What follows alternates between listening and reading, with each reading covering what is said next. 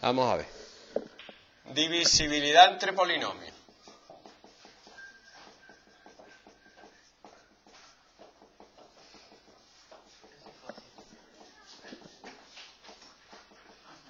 Vamos a ver, te dan dos polinomios. Por ejemplo, este.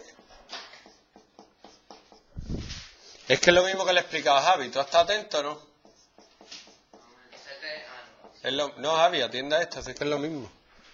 Si sabes hacer esto, sabes hacer lo otro.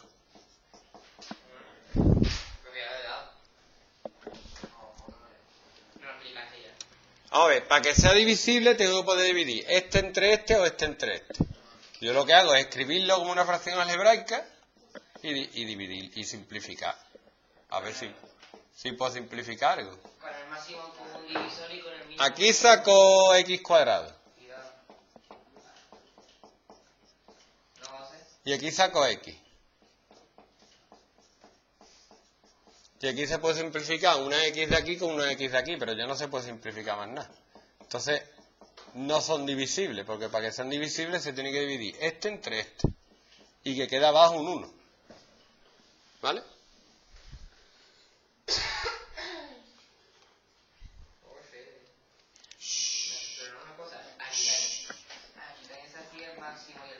Espera, espera.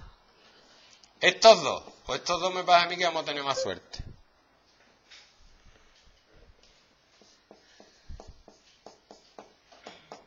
Tú fíjate que si yo saco la x de aquí,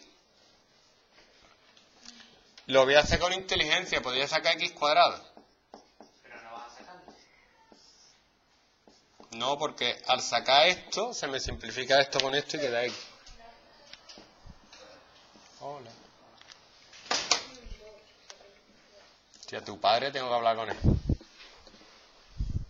Me vaya comprando el disfraz de Robin.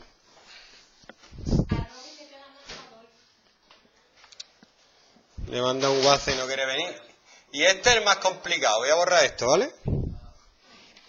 Ah, el más complicado. Eh, no se hace igual. Pues yo no lo haría igual. Si te dan este polinomio y este polinomio,